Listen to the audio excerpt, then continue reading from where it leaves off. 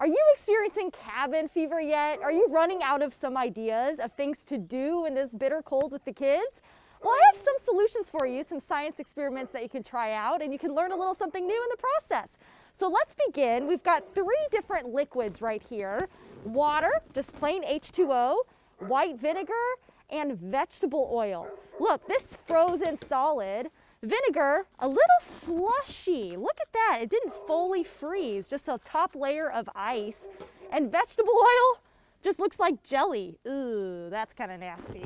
So it's because all those different molecules, all these different liquids are made up of something different, right? And it takes a little bit longer for those molecules to freeze. And the vegetable oil, the vinegar, has a much lower freezing point. So it's gonna take a little longer for those liquids to freeze. Okay, next up, try this science experiment. Fill up a bottle of water, of warm water, only about a third full, and we're gonna put it inside a bowl of ice cold water and see what happens to the bottle. Okay, it's not very dramatic, but you can tell that this bottle is starting to collapse inward. You see all the pressure that's trying to a change inside the bottle. This is as the temperature is dropping inside that water bottle, the pressure is changing and the high pressure outside of the bottle is pushing it in and therefore it collapses. So maybe you don't have a bowl of ice cold water, but you could certainly put it in the snow that we have on the ground. Let's see if it continues to do this. Yeah, look at it, it's collapsing. Wow, amazing how the change in temperature changes the pressure too, and we can see that happen to this water bottle. This experiment, we left a Coke bottle outside for about an hour and a half. Before we did that, we shook it up real good so that we could get some bubbles to form when we open up the Coke. So we're gonna see what happens. The goal here is to see if we can change the liquid over to a solid, maybe make a slushy out of this Coke. Let's see.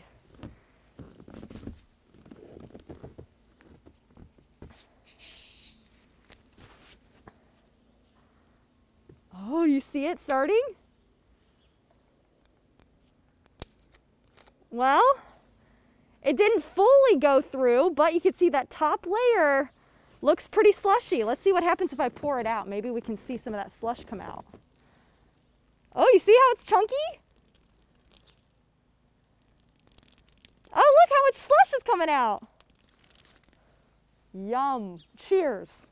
Okay, we've got a helium balloon here, and it's really deflated when you bring it outside because all of the molecules inside get really close together and it loses its volume inside the balloon, so we can really compact it. So when we come back inside, all of a sudden, the helium, the air starts to expand inside the balloon, and it gets to be very full again.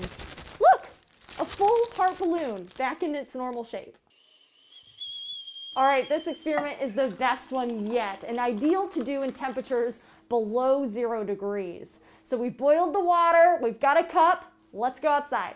It's important to have parent supervision with this one because we're, of course we're dealing with boiling water. And if there is a breeze outside, put your back to the wind so that the water and the cloud forms ahead of you, not towards you. All right, let's see what happens. We've got boiling water inside this cup. I'm gonna bring off the top because I wanted to keep it as hot as I possibly could. Oh, look at that steam. Already some evaporation occurring. We're gonna see if we can get a lot more evaporation and create a cloud as we throw this boiling water into the bitter cold. In three, two, one. How that? Making a cloud that quickly because it is so cold outside and the evaporation process happens so fast, it condenses to form a cloud in the cold weather. Hopefully these science experiments can relieve some of that cabin fever that we have in this cold, cold air. Let us know how it goes at home. Stay safe and happy Arctic blast.